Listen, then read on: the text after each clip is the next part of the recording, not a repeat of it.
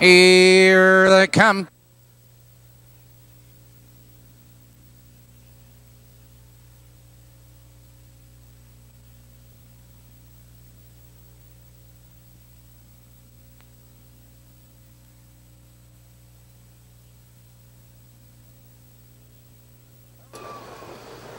They're off.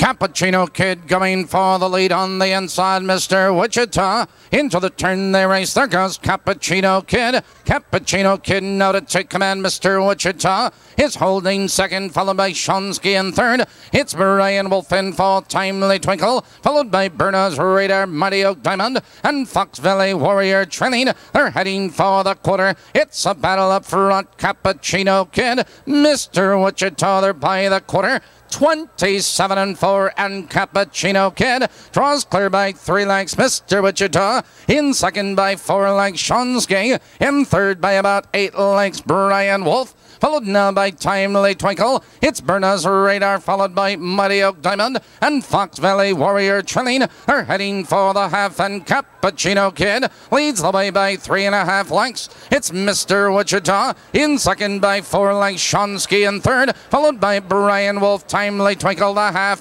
56 and 4 into the clubhouse turn, and it's Cappuccino Kid maintaining the lead two lengths, Mr. Wichita.